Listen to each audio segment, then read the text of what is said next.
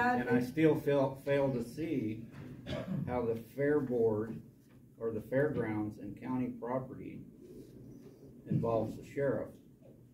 Uh, I went to the recorder. So I'd like to get No, back no, to no, my no, report. no, very pertinent, very pertinent. I would went to the like to get recorder's to my office and to the treasurer's office, and I cannot find anywhere in the history of Bonner County records where there is a piece of property that is titled to sheriff's complex, sheriff's office, sheriff's property, justice facility property. It's all titled to Bonner County.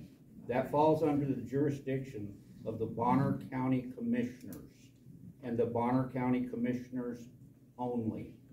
And for somebody to produce a false narrative when somebody says something that is not true or, or intentionally misrepresent something, they have a word for that person that is being untruthful.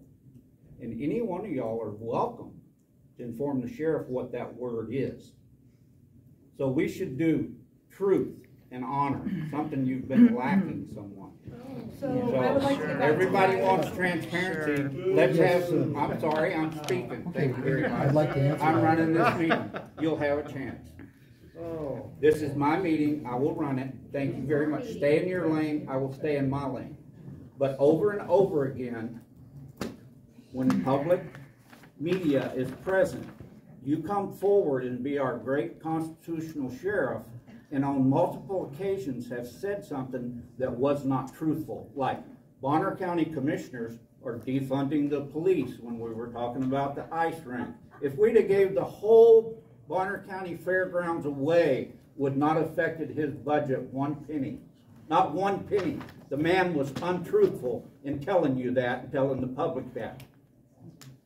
The only thing honorable about this man is that uniform he's wearing. Oh. Mr. He Chairman, has Oh, that's over pretty and over cool. again Misrepresented to you.